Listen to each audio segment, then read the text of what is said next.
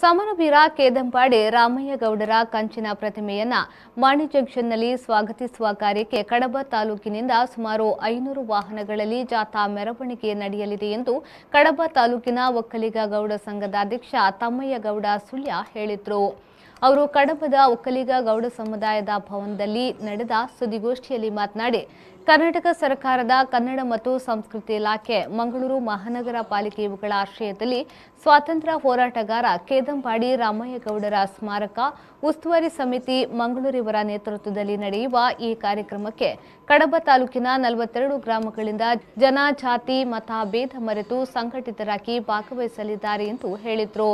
ಬ್ರಿಟಿಷರ ದಬ್ಬಾಳಿಕೆ ದಾಸ್ಯ ಪದ್ಧತಿಯ ವಿರುದ್ಧ ತುಳುನಾಡಿನ ಎರಡು ಸಾವಿರಕ್ಕೂ ಹೆಚ್ಚು ರೈತಾಪಿ ವರ್ಗದವರಿಗೆ ತರಬೇತಿಯನ್ನ ನೀಡಿ ಬ್ರಿಟಿಷರ ವಿರುದ್ಧ ಹೋರಾಡಿ ಗೆದ್ದು ಮಂಗಳೂರಿನ ಬಾವುಟಗುಡ್ಡಿಯಲ್ಲಿನ ತುಳುನಾಡಿನ ಹೆಮ್ಮೆಯ ಧ್ವಜವನ್ನ ಹಾರಿಸಿ ಹದಿಮೂರು ದಿನಗಳ ಕಾಲ ರಾಜ್ಯಭಾರ ಮಾಡಿದ ನಮ್ಮ ಜಿಲ್ಲೆಯ ಹೆಮ್ಮೆಯ ಪುತ್ರ.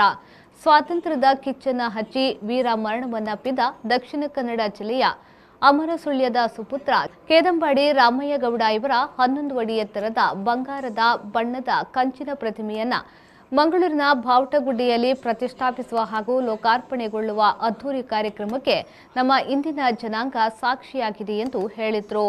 ಕರ್ನಾಟಕ ಸರ್ಕಾರ, ಕನ್ನಡ ಮತ್ತು ಸಂಸ್ಕೃತಿ ಇಲಾಖೆ ಮಂಗಳೂರು. ಮಂಗಳೂರು ಮಹಾನಗರ ಪಾಲಿಕೆ ಇವರ ಸಹಭಾಗಿತ್ವದಲ್ಲಿ. ಕೆದಂಬಾಡಿ ರಾಮಯ್ಯಗೌಡರ ಸ್ಮಾರಕ, ಉಸ್ತುವಾರಿ ಸಮಿತಿ, ಮಂಗಳೂರು.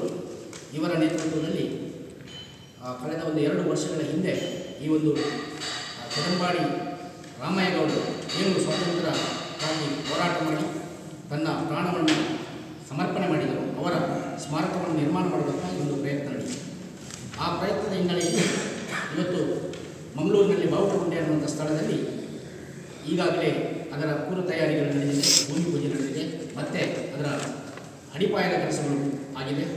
ಇದೀಗ ನಾವು ಈ ಅಮೃತ ಮಹೋತ್ಸವದ ಈ ಕಾಲಘಟ್ಟದಲ್ಲಿ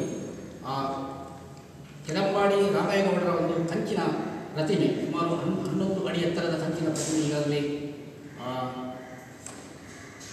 ಆಂಧ್ರ ಪ್ರದೇಶದ ವಿಜಯವಾಡದಲ್ಲಿ ತಯಾರಿಗೊಂಡು, ಆ ಮೂಲಕ ಇಲ್ಲಿಗೆ ಆದಿತ್ಯ ಮಟ್ಟದ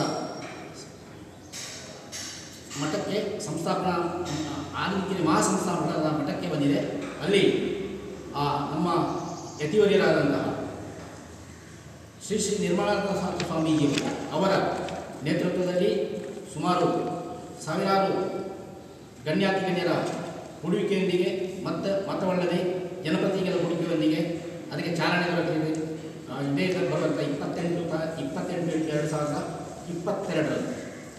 ಅಲ್ಲಿಂದ ಆ ವಾಹನಗಳ ಜಾಥಾ ಮೆರವಣಿಗೆ ಮುಂದೆ ಸಾಗಿ ಐತಿಹಾಸಿಕ ನಗರವಾದಂತಹ ಮೈಸೂರನ್ನು ಪ್ರವೇಶಿಸಿ, ಅಲ್ಲಿಂದ ಮತ್ತೆ ಕುಶಲನಗರ ಮಾರ್ಗವಾಗಿ ಸುಳ್ಯಕ್ಕೆ ಇಪ್ಪತ್ತೊಂಬತ್ತು ಎಂಟು ಎರಡು ಸಾವಿರದ ಇಪ್ಪತ್ತೆಂಟರಂದು ಸಾರಿ ಇಪ್ಪತ್ತು ಎರಡರಂದು ತಲುಪಲಿದೆ ಅದು ಪುನಃಪ್ರವೇಶ ಮಾಡಿದೆ ಅಲ್ಲಿಂದ ಹೊರಟು ಮತ್ತೆ ಎಡಂಬಾಡಿ ರಾಮಯ್ಯಗೌಡರ ಒಂದು ಸ್ಥಳ ಏನಿದೆ ಅಲ್ಲಿ ಕೂಡ ಬಂದು ಹಳ್ಳಿನ ಸ್ವಾಗತವನ್ನು ಅಲ್ಲಿ ಇದ್ದಂಥ ಜನರು ಕೋರಿ ಆ ಮೂಲಕ ಪುತ್ತೂರಿಗೆ ಮಧ್ಯಾಹ್ನಕ್ಕೆ ತಲುಪಬೇಕು ಮಧ್ಯಾಹ್ನದ ನಂತರ ಮಾಣಿ ಜಂಕ್ಷನ್ಗೆ ಎರಡು ಮೂವತ್ತನೇ ಸರಿಯಾಗಿ ತಲುಪಬೇಕು ಈ ಹಿನ್ನೆಲೆಯಲ್ಲಿ ನಾವು ಇಪ್ಪತ್ತೊಂದು ಎಂಟು ಎರಡು ಸಾವಿರದ ಇಪ್ಪತ್ತೆರಡರಂದು ಸುಮಾರು ಕಡಬ ತಾಲೂಕಿನ ನಲವತ್ತೆರಡು ಸುದ್ದಿಗೋಷ್ಠಿಯಲ್ಲಿ ಮುಖಂಡರಾದ ವಾಡ್ಯಪ್ಪ ಗೌಡ ಎರ್ಮಾಯಿಲ್ ಚಂದ್ರಶೇಖರ್ ಕೋಡಿಬೈಲ್ ಗಣೇಶ್ ಕೈಕುರಿ, ಆಶಾ ತಿಮ್ಮಪ್ಪಗೌಡ ನೀಲಾವತಿ ಶಿವರಾಮ್ ಮಂಜುನಾಥ್ ಕೊಲಂತಾಡಿ